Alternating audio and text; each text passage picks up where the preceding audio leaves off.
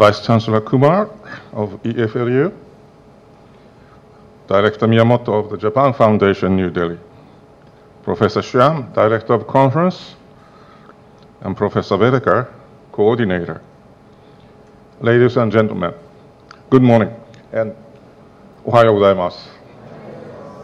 But it's almost noon.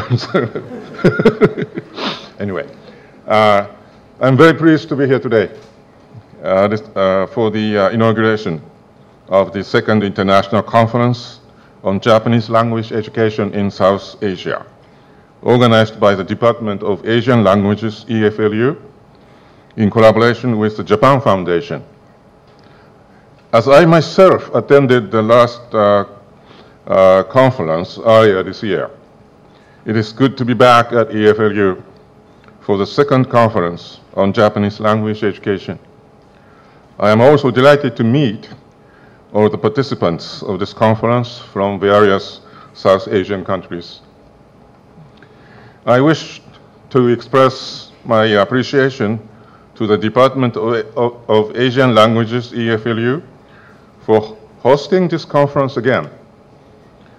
As I said when I was there, uh, when I was here last time, the EFLU venue suits this conference well since it is a hub of Japanese language education in South India, with more than 100 students currently studying Japanese language, BA honors and part-time courses included.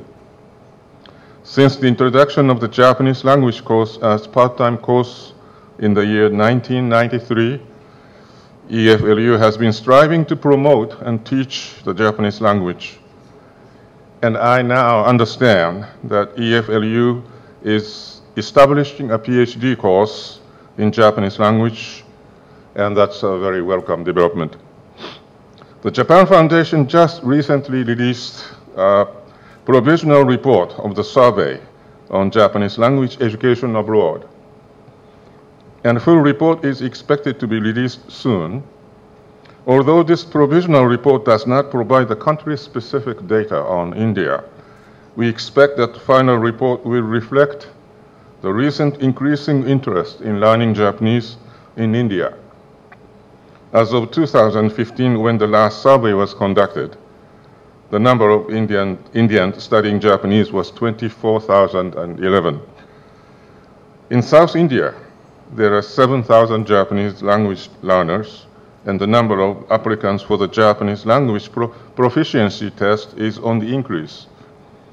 Beginning from December 2019, the Japan Foundation has added the city of Salem in Tamil Nadu as the second center in the state to write the JLPT exam, mainly to benefit the students in the southern district of the Tamil Nadu state. A total of 800 students are expected to appear for the uh, December JLB, JLPT exam at the Salem Center. Certainly, the growing interest in learning Japanese language relates to the increasing number of Japanese companies operating in South India.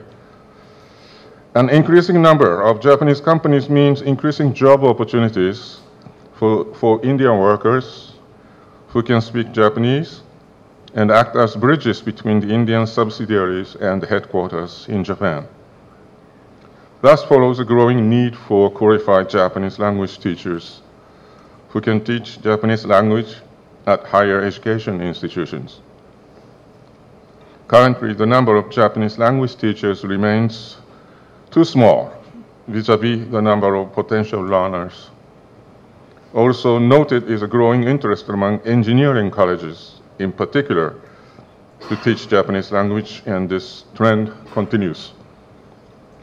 Against this background, in 2017, the Prime Ministers of Japan and India agreed to establish Japanese language certificate courses at 100 higher education institutions in India, as well as to train 1,000 Japanese language teachers over the next five years. In July 2018, the Japanese Language Teachers Training Center was established at JNU in New Delhi. So far, I understand three batches of participants have so far been trained at this center. As you know, uh, um, All Nippon Airways, ANA, commenced direct flight services between Chennai and Tokyo on October the 27th this year. And Japan Airlines plans to start direct flight services between Bangalore and Tokyo from March 2020. With the introduction of these direct flights, we see growth potential in business and tourism between Japan and South Asia, uh, sorry, South India. It will certainly encourage more students to learn Japanese. This conference has participants from countries such as Japan, South Asian countries, and others, physically present or through online. During the next two days, you will share your experiences as Japanese language teachers and exchange views on the situations surrounding Japanese language education in each participating country. I hope you will find this conference of use and mutually beneficial by learning from each other's experiences with a view to providing better quality Japanese language education back in your home country.